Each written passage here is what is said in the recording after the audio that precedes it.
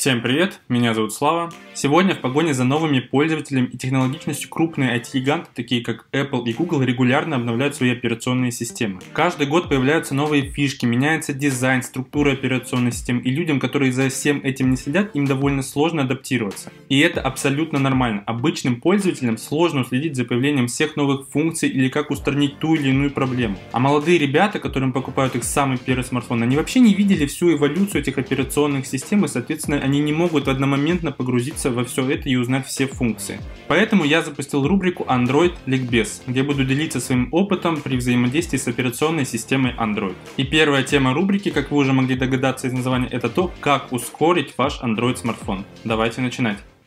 Небольшая ремарка перед тем, как я озвучу пункты для ускорения вашего Android смартфона. Каждый Android смартфон и производитель, они индивидуальны, и каждая версия Android отличается друг от друга. Я буду показывать на примере Android 9.0 на устройстве Google Pixel 2. Так что если вы что-то не найдете из того, что я покажу, то не расстраивайтесь. Но я постараюсь показать пункты, которые должны быть у каждого пользователя.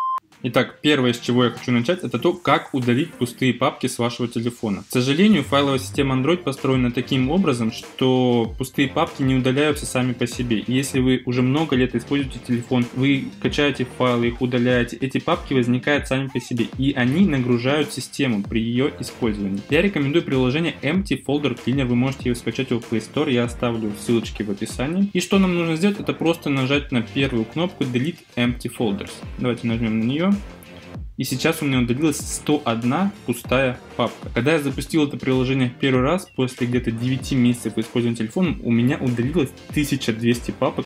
Я охерел просто. Все началось с того, что когда я начал этот YouTube канал, я записывал ролики на телефон, которые сейчас показываю, и, соответственно, видео хранились в папочке с фото и видео. И там было столько пустых папок с фотографий, которые были с портретным режимом, то есть когда их удалял с Google Фото, сами папки оставались, и у меня просто папка грузилась секунд по 30. И после того, как я это сделал, это начало просто летать мгновенно, и, соответственно, эффект на систему тоже некий дает, особенно если вы пользуетесь смартфоном очень продолжительное количество количество времени. Второе, что я рекомендую сделать, это удалить кэш приложений и систему с устройством. Что такое кэш? Кэш это файлы, которые загружает операционная система для того, чтобы подгружать какие-то следующие файлы быстрее в следующий раз. То есть вы заходите на страничку браузера, она у вас прогружается. Если вы заходите на нее в следующий раз, она грузится быстрее. Но это как бы хорошо, но в чем проблема? Таких кэш-файлов может быть очень много в вашей системе, если вы особенно используете телефон очень долго. Соответственно, чем больше файлов, тем сложнее телефону их находить. Я рекомендую приложение Google Google Files. И здесь есть такая вкладочка «Ненужные файлы». От этих файлов пора избавиться. И он мне предлагает очистить 585 мегабайт. Я нажимаю «Временные файлы приложений» из кэша приложений, как тут написано.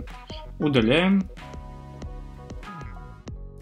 Наши кэш-файлы очистились, и, соответственно, мы не только освободили дополнительное место на устройстве, но и сделали работу системы быстрее, так как она сможет быстрее ориентироваться в файлах. Третий пункт для того, чтобы ускорить ваш Android смартфон, я рекомендую ускорить анимацию приложений. Для того, чтобы это сделать, заходим в систему, о телефоне и находим номер сборки.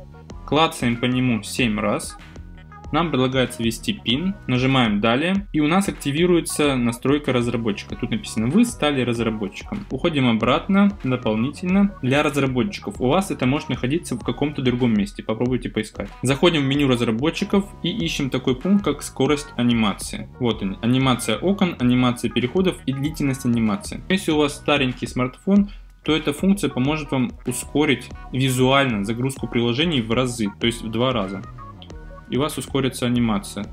Загрузка приложений будет происходить визуально намного быстрее. И следующий пункт, который я бы хотел рекомендовать, это используйте GPU ускорение. Спускаемся чуть-чуть дальше, и вот у нас есть пункт GPU ускорение. Всегда используйте GPU для двухмерного рисования. То есть анимацию для двухмерного рисования, то есть для 2D графики, когда вы используете интерфейс смартфона, у вас будет осуществляться не процессором, а видеоускорителем. И соответственно нагрузка на процессор спадет, и ваш телефон в прорисовке 2D графики будет работать заметно быстрее. Пятый пункт, который я бы рекомендовал всем без исключения, это удалите ненужные нужные приложения, которыми вы не пользуетесь. Они есть, скорее всего, у большинства. Когда-то скачали приложение, забыли про него и оно висит. Но эти приложения могут незаметно работать у вас в фоне, даже если вы ими не пользуетесь, и отбирать мощности вашего процессора. Соответственно, я скачал три тестовых приложения, такие как Skype, Facebook и Doctor Web, просто чтобы показать, что их нужно удалить и забыть про них, не пользоваться. Соответственно, они не будут работать у нас в фоне, файловая система очистится и телефон будет работать намного быстрее. Шестой пункт, который я бы рекомендовал сделать, это уберите всю ненужную синхронизацию, которая висит в фоне. Для этого заходим в настройки и ищем аккаунты Google. Заходим в аккаунты, это так выглядит на Android 9. И если у вас установлен не один аккаунт Google, а несколько, то у каждого аккаунта будет разная синхронизация. То есть Chrome, Gmail, Google Play Music,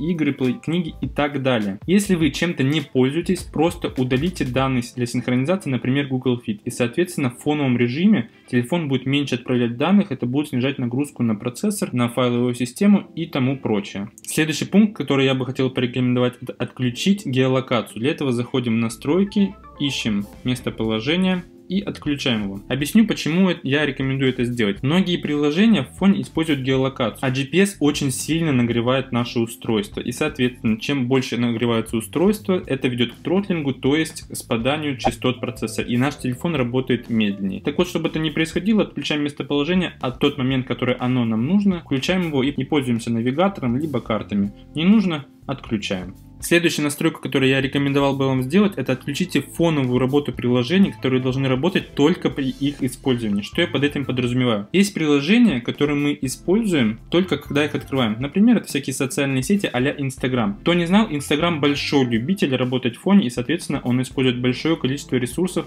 нашего смартфона или планшета. Для этого заходим в настройки батаре... приложения, батареи и ограничиваем работу в фоновом режиме. Я рекомендую отключать фоновую работу именно тех приложений, приложений, которые должны работать только в момент их использования. Например, Twitter, Instagram, другие приложения а-ля Едодил, Pigaboo, сравнение такси. Они могут работать в фоне, вы это можете не замечать, но если вы это сделаете, то это, во-первых, сэкономит вам батарейку, а во-вторых, ресурсы процессора. Девятый пункт, который может ускорить ваш смартфон, во-первых, отключите живые обои, если они у вас стоят, например, вот, живые обои от Google Pixel, есть другие наборы живых обои, а также уберите все виджеты, которые вам не нужны 90% времени, времени, потому что они также нагружают работу процессора. Они периодически подгружают отсюда информацию, и, соответственно, это нагружает работу смартфона. Если вы это уберете оставите только то, что вам нужно, телефон будет работать заметно быстрее. Ну и десятый способ, самый радикальный. Если ничего не помогает, переходим в настройки, система, и находим такой пункт, как сброс настроек. И сбрасываем телефон до заводских настроек. Соответственно, у вас удалится все, все приложения, все файлы. Но, кстати, некоторые файлы могут остаться, и после того, как вы это сделаете, я рекомендую все-таки воспользоваться Empty Folder Cleaner, который удалит пустые папки.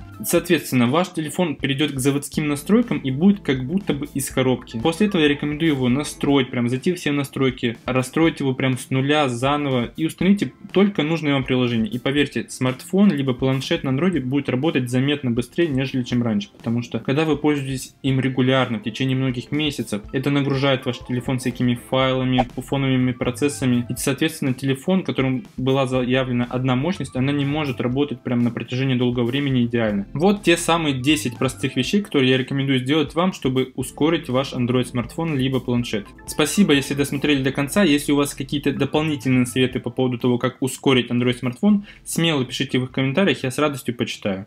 Если это видео было вам полезно, можете ставить лайки, подписываться на канал. Стараюсь публиковать только интересный и полезный контент. А на этом первое видео из цикла Android Ликбез заканчивается. Следующий ролик будет про то, как по максимуму сэкономить батарею на вашем Android смартфоне. Если интересно, как я уже говорил, подписывайтесь на канал. Ну а я пошел. Всем удачи, всем пока.